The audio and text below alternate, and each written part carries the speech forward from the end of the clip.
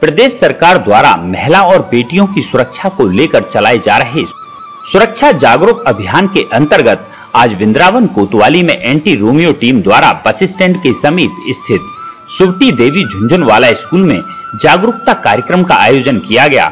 कार्यक्रम में महिला कल्याण विभाग की सदस्य स्नेह लता चतुर्वेदी और स्थानीय एंटी रोमियो की प्रभारी एसआई मनवीरी द्वारा छात्राओं को सुरक्षा के प्रति जागरूक किया गया।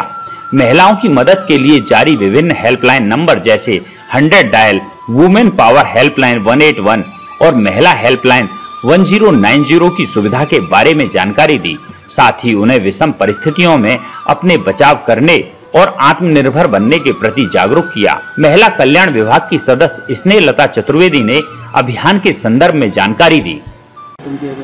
हाँ ये आजकल राज्य सरकार की ओर से बालिका सुरक्षा अभियान चलाया जा रहा है तो हमको डे बाई डे एक तारीख से तीस जुलाई तक, डे बाई डे हमें स्कूल की एक लिस्ट मिली हुई है तो हमें स्कूल में जाकर बालिका सुरक्षा अभियान के तहत बच्चों को थोड़ा सुरक्षा के टिप्स देने हैं, जो कि हेल्पलाइन के भी हम नंबर दे रहे हैं और बच्चों को बताया जा रहा है कि आप अपनी सुरक्षा कैसे कर सकते हैं, इस बारे में हम पूरी जानकारी दी जा रही है, टीम सहित।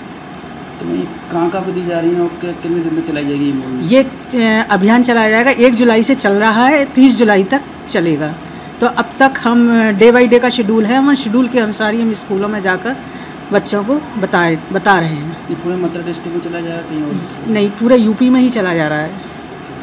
आज कितने बच्चे आपको बताया आज हमने करीब 250 लड़कियों को बताया गया। एवरेज बच्चे तो काफ़ी हैं लेकिन वो जा चुके थे।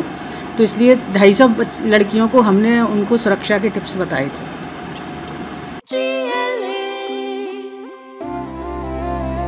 जो लक्ष्य चुना था, समझ आने लगा है।